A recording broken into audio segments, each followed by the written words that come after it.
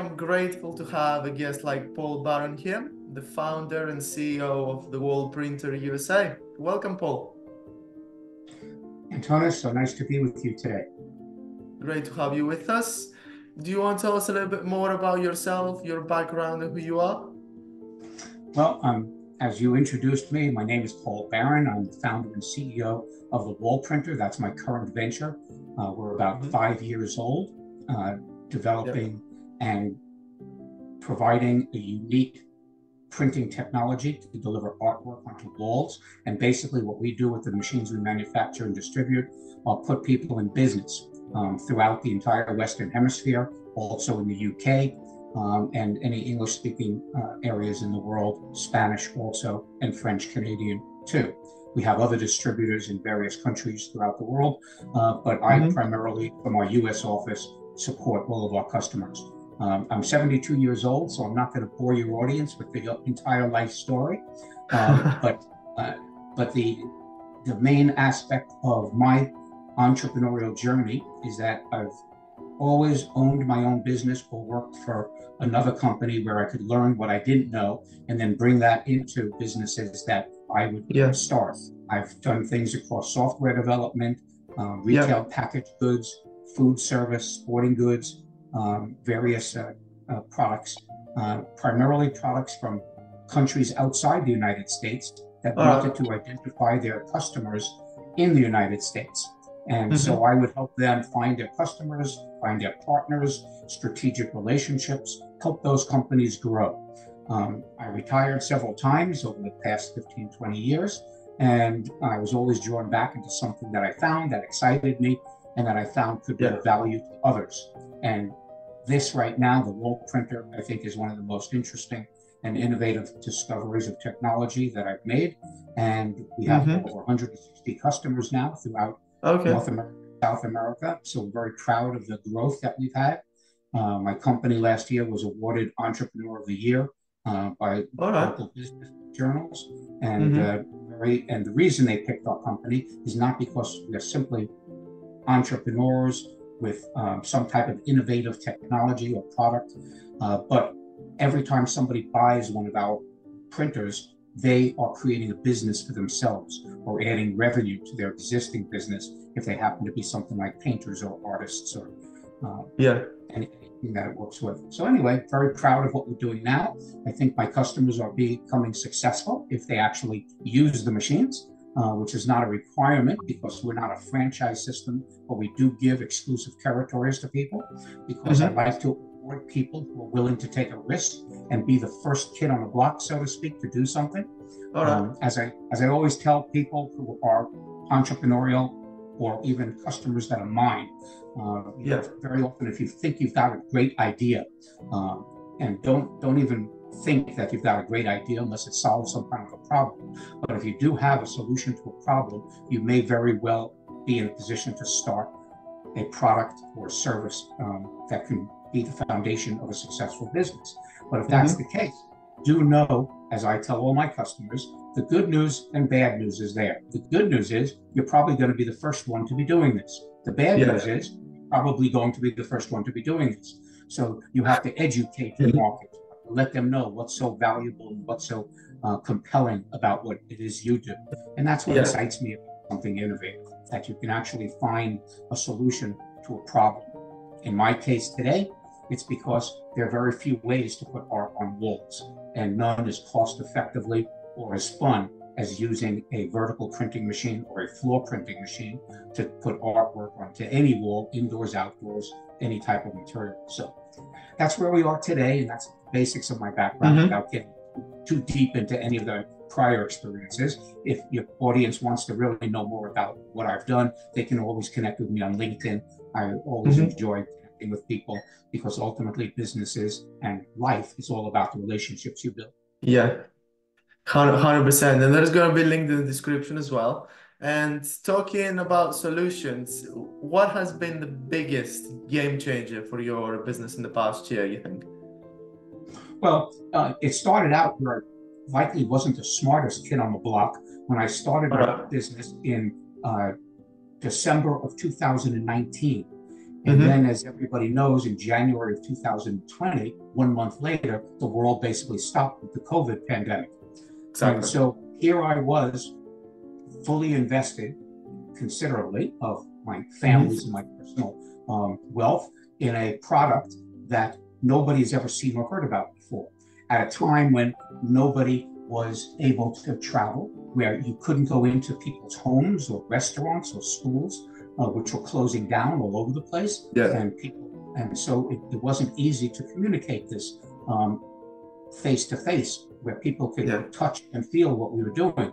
We could use Facebook, TikTok, and YouTube, yeah. and Instagram, and Pinterest to show people videos and images of what a wall printer is and what it does. Same thing mm-hmm. that anybody can see and learn by going to our website today.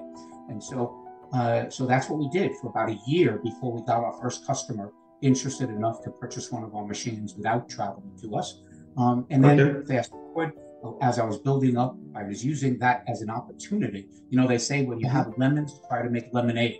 Um, so in this case, what I did by hiring all these people, we learned how to use these products. We made sure that we had all the supporting materials developed for educating people and yep. training and all the things that any successful business needs to have to support its customers properly. So we did all that for eight to 10 months before getting our first customer and servicing our first market. And so, uh, but here we are three years later with 160 customers, new businesses being created. We're very proud of that and uh, mm-hmm. moving forward. That's amazing. Sounds good. So, in that journey, yeah, what is the one mistake you made early on that you learned a valuable lesson from? Uh, one mistake. Um, hmm. I, I, don't mean this to sound pretentious by any means, but in this particular journey, um, I have made no mistakes. Uh, now that could be because I'm 72 and I've a lot of experience and I know mm, those yeah. roadblocks. But to exactly. your point, to your point, in the past, um, selecting the wrong partners uh, was my okay. biggest mistake. I, I really enjoy partnerships. Uh, I like. Mm-hmm. I, I I think I'm smart enough to know what I don't know, and so in many of my businesses, I always sought out whether it be just the advice or actually the inclusion of somebody in my venture um, to be a, an equity participant who could bring something to the table. Every day, people are saying, you know, does my business need money? Um, a lot of companies are out there asking people, do you want to take a loan out? Do you want to borrow money? Things like that. Yeah. Money, money is is a tool, and yes, it's important. You, you do need to have a proper capitalization to pretty much do any kind of business or exactly. any kind of solution. But mm-hmm. money by itself isn't going to guarantee success. Um, there's, you know, sometimes it even guarantees failure when you don't know how to use the money. But partnerships yeah. are what I've always enjoyed um, finding, and when they're good partnerships, they can help a company grow because uh, even though I've got a degree in mathematics uh, from my education, college education, the best yeah. equation I like is two plus two equals five. And so what I mean by that is that the, the sum of the parts sometimes is greater um, than, you know, the whole is greater than the, the sum of its parts meaning that when you have two heads that come at something from different perspectives and you put those minds together and those skills together, you can grow something really special. Now, if that partner is not the right partner and has a different agenda than you do, and you're not on the same page, that to me is the single biggest mistake.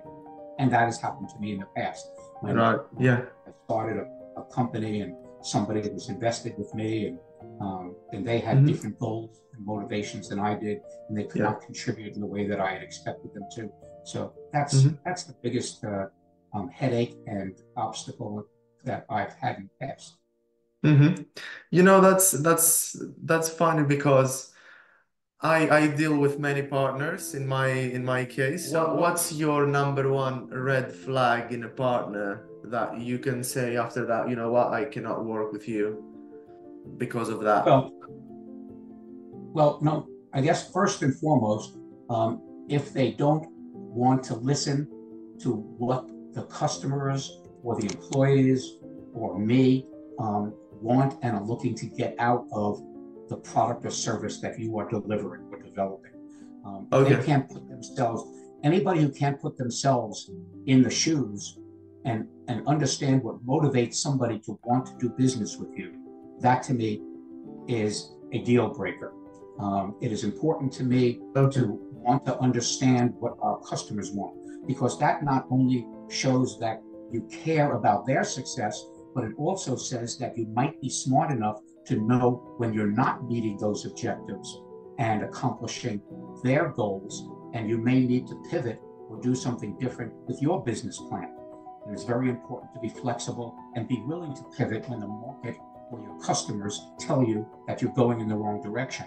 So to mm. me, not being able to react to that, not being able to empathize um, with that and being open to that, that you think you know everything, that's a mm. deal breaker for me. Mm-hmm. Sounds fair enough.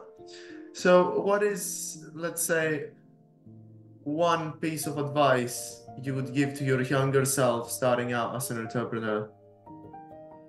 Well, somebody somebody very close to me who was an advisor in my early professional career um, okay. as a birthday present gave me a book very small book very easy to read you could read it one day um, yeah. it's called everything i need to know i learned in kindergarten um, and and i believe uh, i apologize for not knowing and having a total familiarity with the british um, education system in the uk uh, it's fine we have here we have kindergarten. When you're about four or five years old, you start off your yeah. education in your school in kindergarten, and you learn things like how to play nice with others, to take a nap every day, um, to uh, treat people respectfully, and do unto yeah. others as others would do unto you. Um, those are the lessons of life, and those are the lessons of business as well. And so, uh, if I was going to if I was going to give somebody advice, and I really try to advise people um, on, on, what they should do, um, I like people who are self-reliant to kind of figure it out for themselves. Uh, but if anybody asked me, that's the only thing I would tell them, um, and everything else should fall into place. Um, mm. When you deal with business, if somebody is really looking to invest in a business or create a business, what I will tell them first and foremost is what make sure you have what I call the three T's: uh, time, talent, and treasure. Okay. Have the time, have the time to devote to what you think is going to be this successful venture or creation that you've got in mind. Um, mm-hmm. Have the talent. If you don't have the talent, make sure you partner or solicit or engage yeah. that talent from others who can help you get from here to there. And then the treasure. Make sure you have the proper financing to accomplish what you want to do. And that doesn't mean yeah.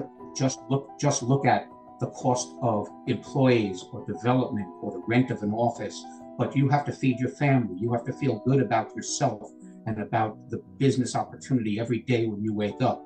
And if you have those kinds of financial pressures that many, if not most businesses have, especially in the early stages, um, you could be in for a very long, hard road before you yeah.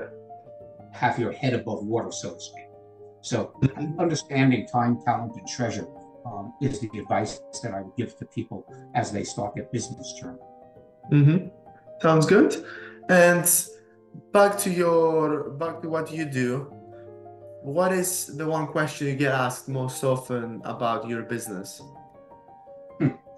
uh, the one question most often well i guess since we're putting people in business um, they all want to know how do i make money with your product um, that's probably the, the number one question. Well, maybe the number okay. one question is what is it what does it cost to get involved in this business? They see it on yes. Instagram or TikTok or YouTube and they get all excited about it. A lot of people don't realize that what we sell is not a $100 desktop printer uh, from Hewlett Packard or Canon or Epson or something like that. It is, yeah. a, it is a commercial printing machine that costs $35,000. Um, and so, so after they learn what the cost is, which is probably the first question people ask, my response to that is always, who cares what the cost of something is? How, how about asking, how much can I make with that investment? Yeah. Um, the cost of money is important. What's my return on investment? What do I have to do to be successful? These are the questions that people looking for any kind of a business should be asking. Yeah. You know, is this something I would enjoy doing first and foremost? How do I make money doing it? What does it cost to become involved with it? How much mm-hmm. can I make? I see. So if we look at specific specifically at the question how can they make money with such example, what would you say? Well, be, be prepared um, to be the first kid on the block, so to speak, because okay. going, you're going to probably be the first one in your community to introduce this. It requires marketing on one side. It requires maintenance of the machines on the other. Yeah. These are commercial printing machines. You have to be prepared for that. No different than you know somebody who has to change the oil in their car or change the windshield wipers every now and then. These are machines that have inks running through them and they require regular maintenance. You have to be prepared. If you don't want to do that yourself, you have to hire somebody to do it. You must treat this like a business. Sure, it looks like an exciting tool, but it is not something for just one person to think that they can do by themselves. Sure, one person can use the machine and print beautiful art on walls, but if you're yeah. going to be doing that all day long, where are your customers coming from? You have to still have a business to manage. You have to, a business still requires other aspects to it. Um, you have to, uh, you know, you have to have a vehicle. You have to uh, pay insurance. You have to uh, have, yeah. Uh, you know, all the other, all the normal expenses of a business and the other, and operating it, bookkeeping, um, payroll, um, whether it's just you or anybody else. These are just, they're activities that you need to do pretty much all day long when you mm-hmm. own a business. And so you have to be freed up to do that. You can't always be sitting there with a machine. And actually, our machines only require a babysitter uh, to yeah. be with those machines while they're printing. It doesn't require technical expertise. It doesn't require a lot of experience, uh, but it's time. It's the time to be with that machine while it's printing. Our printers print at 20 square feet per hour. Um, this image behind me, I don't know, do you have video on this call or is it just audio? Yeah, it, it is so, video. So there's a picture behind me that's a wall printing on a concrete wall, which is my warehouse here. That's made of uh-huh. cinder block. You can actually see all the rough textures in the in the cinder block here. Yeah. You don't need a smooth wall, you just need a flat wall. So again, understanding that using this printer requires setting it up, printing it, taking the time. This is a 40 square foot, five feet by eight feet, um, 40 yeah. square feet, four square meters for those in your audience on the metric system. Um, and so uh, th- this, this takes two hours to print. It would take an artist two days, and they would never get the kind of clarity and resolution that this print provides um, in two days worth of painting. Um, mm-hmm. So two hours, this can be printed. We, we believe that we are helping artists and muralists by letting them do what they do best, create art, and then our print is printed. But once again, somebody getting into this business has to know that you have to find the art, you have to find the customers, you have to yeah. give them what they want, and then you have to assess the wall. You have to figure out, you know, what the wall needs. If this wall was was rough concrete, it's primered with white paint first before we print it. If you don't do that, that's something that you have to get a painter to do uh, before mm-hmm. you do it. So there's a lot of not only other ways to make money in this business with the graphics side of things and preparation side of things, uh, which is ways you can make money or partner with people, but it's also time and it's things to be considered. Yeah. So once again, it's, it, you need at least two people to, to run this business. And of course, my business, we don't provide the services, we provide the machines. So yeah. I don't want somebody to just think that they can do this by themselves because my business is selling machines and inks and making sure those machines work for my customers perfectly day in and day out with the support that we give and so the training that we give. Uh, so I want people to buy more machines. If it's, yeah. it's one person using this machine, well, that doesn't help me after the first sale. And I never believe that any business should just look at the, the sale of a product. You know, if you sell somebody a car or you sell them a software application, you know, you want to upgrade. You want to sell them other things that you own, or you want to find yeah. out what it is they want. So you can, because now you've got a relationship with them. And ultimately, as I've said earlier, that's what life is about. You create a relationship with somebody, and now they will use you as a trusted resource.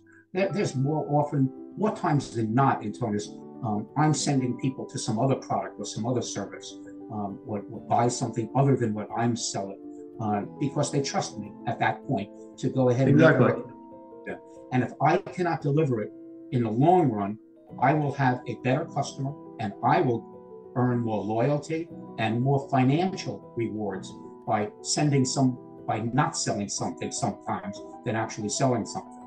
And so again, yeah. that's that's what this is all about. That's what people should have their eyes wide open when they get into this business. Mm-hmm. If they're looking to grow, if they're not looking just simply for a five figure income, but they're looking to have a real business that's going to grow, they should have a mindset that they're going to own a business that they're going to hire people to do the job. Look, nobody, nobody invested, nobody invests in a Kentucky Fried Chicken or a Starbucks because they love coffee or they like making hamburgers or chicken. Okay, that's not why you buy those types of businesses. You know, you buy it because either the real estate or you buy it because it makes money. Um, and and you're exactly. not, you know, I was in the restaurant business. Um, yeah, I learned how to cook and I tended bar and I washed dishes because I wanted to know what was involved. But that's not why I got into the restaurant business. Uh, my business, yeah. I, I, wanted to manage it. I wanted to meet the people, understand what our customers wanted. Um, I went. I didn't want to be in a kitchen. I hired somebody to do that. Um, I hired somebody to wash dishes and to tend bar and to be a waiter. Now, sure, I could do it, but if I was trying to do everything, business would never grow because you'd never exactly. Hundred percent. Okay, so let's we have we have a bonus section as well where I'll say one word or a phrase and you must reply with the first thought that comes to your mind. Make sense? well, it makes a lot of pressure, but yes, it makes sense. I know it's you know it can be controversial, but you will have the time at the end to you know explain yourself. okay. So first one, entrepreneurs. Risk taker. Mm-hmm. Startup businesses. I'm sorry, say that again. Startup businesses. What is the solution to what problem? Mm-hmm. Photography. Again, please. Photography. Photography. Mm-hmm. Art. High energy people.